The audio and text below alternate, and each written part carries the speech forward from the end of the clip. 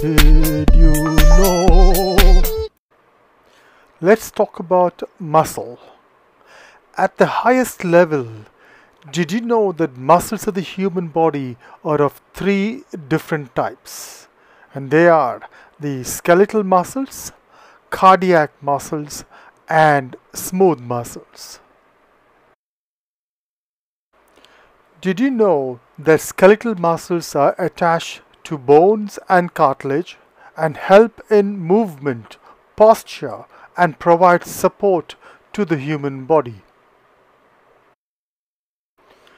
Did you know that cardiac muscles are found in the heart and are responsible for the pumping action of the heart?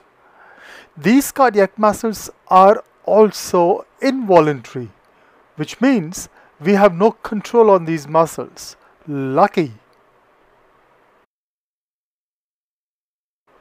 Did you know that smooth muscles are usually found lining the insides of different organs such as the liver, pancreas, stomach, and contain glands and cells that secrete different kinds of digestive juices.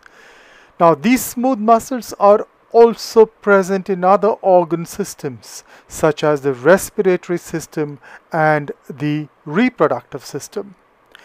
Did you know that these smooth muscles are also involuntary muscles, which means that we cannot move them on our own?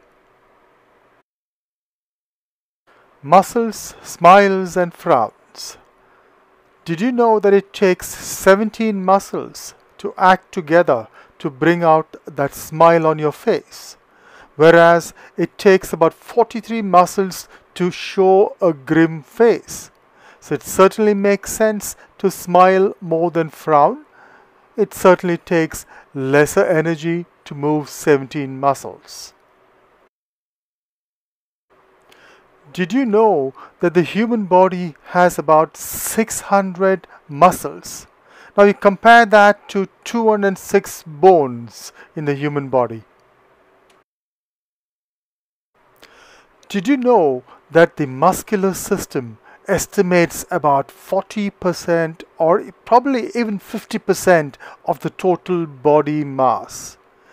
Distribution wise, the muscle cells occupy 75% of body cells. Now, approximately one fourth of the total body protein synthesis takes place in the muscular system. Wow! Did you know that the largest skeletal muscle of the body is located in the hip and buttocks and it is called gluteus maximus? Did you know that the smallest muscles of the human body are present in the inner ear? The tensor tympani and the stapedius are two muscles present in the inner ear that connects to the eardrum.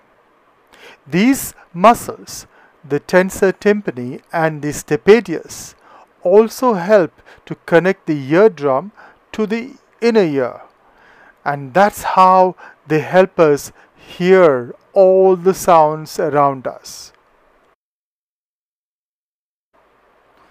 Did you know that some of the strongest muscles of our body are present in the jaw?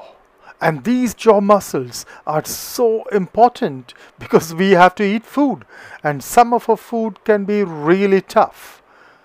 Makes perfect sense to have some of the strongest muscles in our body in the jaw. So, some of the strong muscles in the jaw belong to a group of four muscles that are responsible for chewing movements and mastication. And these are known as the temporalis, the masseter, the internal and the external pterygoid, and the digastric muscles. Now, now, now, let's look at some busy muscles. The busiest muscles in humans are the eye muscles. You can only imagine that the eyes have to move continuously with the help of extraocular muscles in order to keep a sharp focus, in order to keep a sharp vision and clear vision. The other busy muscles are, of course, the cardiac muscles, the muscles that help the heart pump blood all over the body, as well as the muscles that make up the diaphragm, the diaphragm that goes up and down and helps us take in air and breathe air out. What about the longest muscle? The longest muscle in the body is the sartorius. The sartorius is in the leg and is found running down the inner side of the thigh in an oblique fashion. It is a synergistic muscle that is involved in moving the hip and the knee joint. Typically, that helps tailors move the pedals of their sewing machines. In the muscular system, skeletal muscles are connected to the skeleton, either to the bone or to connective tissue such as ligaments. So muscles are always attached at two or more places. Now, did you know that when the muscles contract, the attachment points are pulled closer together, and when it relaxes, the attachment points move apart?